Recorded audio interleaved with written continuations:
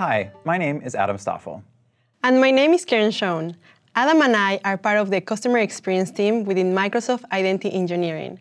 We focus on external identities and help our customers build and deploy identity solutions for customers and partners. Today, we'll take a look at Azure Active Directory B2C, our consumer identity and access management solution. Azure Active Directory B2C is a white label authentication solution which enables businesses, governments, and other organizations to provide their customers, consumers, or citizens with access to public-facing web and mobile applications using the identities that they already have. Customers can use their preferred social identity, enterprise identity, or local accounts with a username and password to get single sign-on access to any application. The entire experience can be completely branded and customized so that it blends seamlessly with each application.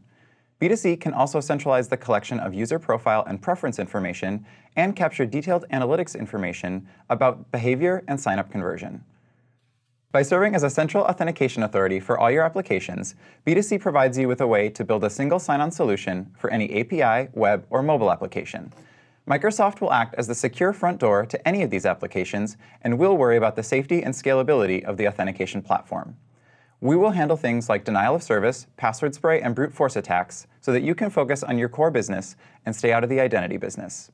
B2C uses standards-based authentication protocols like OpenID Connect, OAuth 2, and SAML so that it can integrate with almost any modern application or commercial off-the-shelf software.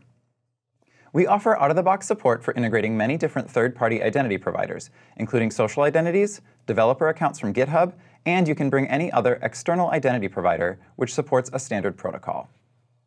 In addition to providing an enterprise-grade security platform, B2C is also an extremely customizable solution which fits in perfectly with any consumer-facing application.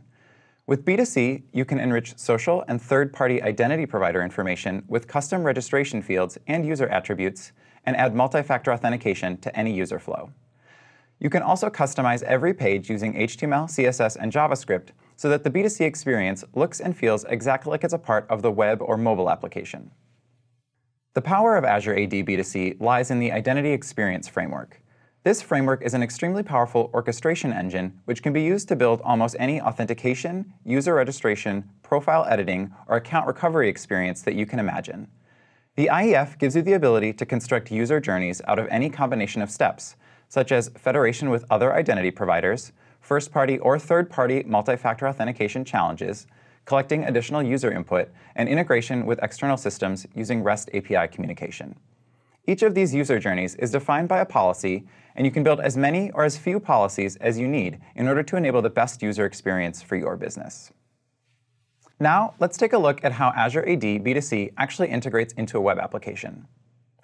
Here we have Woodgrove Groceries. They're a modern 21st century grocery store, so they sell their goods online to their customers. They're using Azure AD B2C to authenticate their customers and have designed their sign-in and sign-up policies to offer a seamless and secure user experience.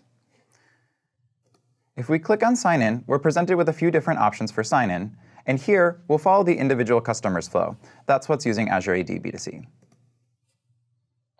When I click Sign In here, their website redirects me over to Azure AD B2C and presents me with a policy with a few different options for sign in. I can use a social account, or I can sign in with a local account using an email address and a password. Let's sign up for a local account here. When I click Sign Up, I can see that there's a few different pieces of information that Woodgrove Groceries wants to collect about me.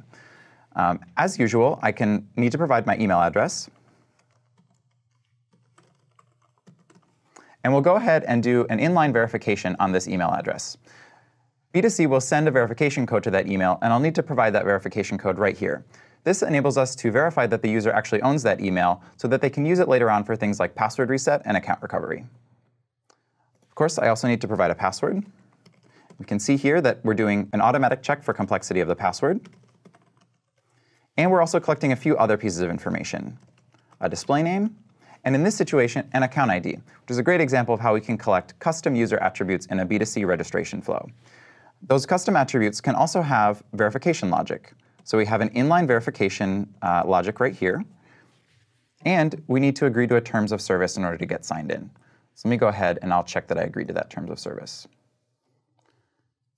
And now I need to provide my verification code that I got sent via email.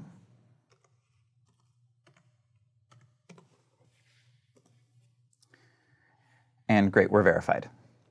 I'll go ahead I'll click Create, and we'll see that this policy is actually stopping me. There's one other verification that's done here in this policy, and that is by calling a REST API. We actually send that account number that was provided to a REST API to verify whether that's the correct data. In this situation, the REST API has returned an error message and said that that account number is not quite right. For the purposes of our demo, we need to make sure that our account number ends with a 5. So let me update that. Great. Now I can proceed. My account's been created, and the next thing that I'm asked to do is enroll in multi-factor authentication. So let's go ahead and do that.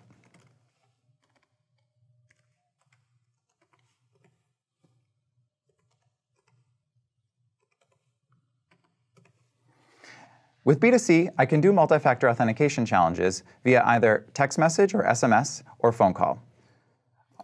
I'll send a code here to verify via SMS.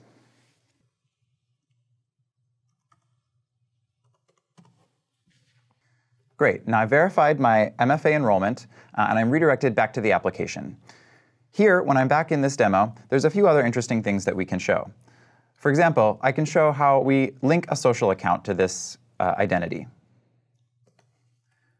When I click on Link a Social Account, I'm taken back to B2C and asked which social provider I'd like to associate with my existing identity. In this case, I'll add a Facebook account. Now that I've linked my Facebook account to this identity, Azure Active Directory B2C knows that I'm the same user, and I can use either credential to get logged in, my Facebook account or the username and password that I set up. B2C has also updated my profile information with data from that third-party identity provider. And you can see, for example, that my profile photo from Facebook has now been populated into Azure AD B2C. I'm going to go ahead and get logged out and then log back in so that I can show you one other interesting feature of Azure AD B2C. I'll come and I'll sign in with that same account that I just used. I'll use Facebook this time to get logged in.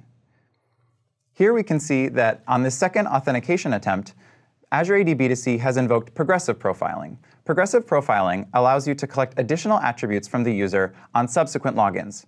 And you can configure this many ways. You might do this based on a certain amount of time having passed since a previous authentication, or it could be a certain number of authentications that have happened. There's flexibility there in that custom policy framework for you to choose how to invoke that progressive profiling behavior. Here, I'll say that uh, I have allergies to a couple different types of food, for example, to dairy and nuts. And we can see how that data will be collected and stored in my B2C profile so that it can be exposed to the applications. In this situation, that information has been added to my authentication token, and here I can see how the application has actually changed its behavior in response to that updated information. In this situation, the application is displaying some warning icons here, showing me that I may be allergic to certain kinds of products. The other thing that I'll call out is you may have noticed that during this sign-in attempt, I wasn't prompted to perform an MFA challenge. That's because in this demo, we've set up our policy to use step-up multi-factor authentication. With step-up multi-factor authentication, we can actually make the user experience a little bit more seamless and also save money on the cost of those MFA transactions. In this situation, the only time I'll be asked to perform a multi-factor challenge is when I perform a more sensitive operation. So for example, in this demo, we'll see that when I go to complete the purchase, that's when I'll be asked for multi-factor authentication.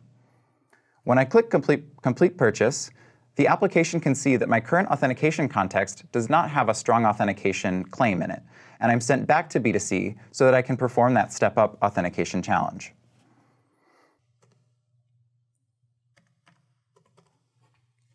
Once I complete that multi-factor challenge, I'm taken back to the application with an updated authentication context, which includes the fact that I've strongly authenticated myself.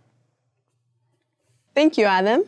I hope this video has helped you learn more about Azure AD B2C. Watch the next video to find out more about how to set up Azure AD B2C, the simplicity of built-in user journeys, and the power of custom policies.